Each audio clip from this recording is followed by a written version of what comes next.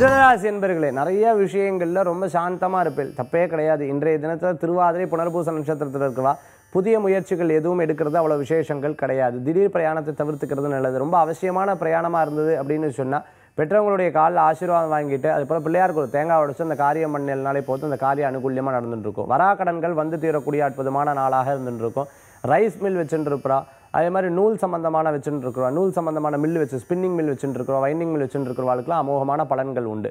நிறைய தறி சம்பந்தமாக வச்சுட்டு இருக்கிறவா அதாவது துணிகள் சேர்க்கக்கூடிய தறி சம்பந்தமாக வச்சுட்டு இருக்கிறவாளுக்கு வேலை வாய்ப்பு இல்லையேன்னு கவலைப்பட்டவாளுக்கு வேலை வாய்ப்பு வந்தேறக்கூடியதாக இன்றைய தினத்தில் உண்டு.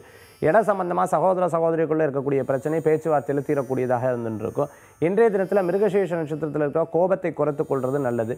சிறு பிரயாணம் தூர பிரயாணம் அப்படிங்கிற பிரயாண விஷயங்களில் ஒரு நாள் கழித்து பண்ணிக்கும்பொழுது நன்மையான பலன்கள் தேடி வரக்கூடியதாக இருக்கும். ஒரு விஷயத்தில் எழுத்து நம்ம எழுத்துப்பூர்வமாக ஒன்று கொடுக்குறோம் அதில் கவனம் என்பது தேவை.